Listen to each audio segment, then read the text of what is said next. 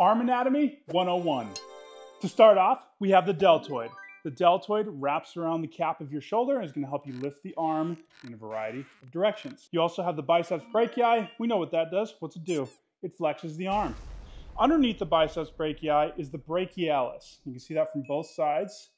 That is also going to flex the arm, but that one is really going to flex the arm with a hammer curl position when your arm is slightly pronated. On the back side of the upper arm, we have the triceps.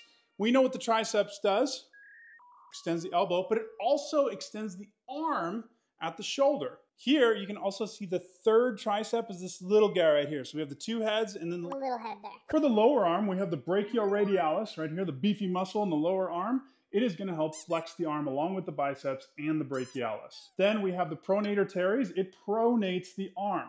So being prone is like lying flat on the floor. So it's pointing it down toward the floor. Then we have the flexor carpi radialis. It is going to flex the forearm along with the palmaris longus and the flexor carpi ulnaris. Now the flexor carpi radialis and ulnaris do a little bit of opposite action. So the radialis is going to pull your thumb outward. The ulnaris is going to pull your pinky inward. So adduction, abduction, adduction, abduction. On the back side of the lower arm, we have the extensor digitorum, which extends the four digits, your fingers. Then we have the anconeus. The anconeus is a little muscle here that will work with the triceps as you extend the elbow. That's all we have painted here. There's a lot of other muscles missing. Uh, now you know that stuff.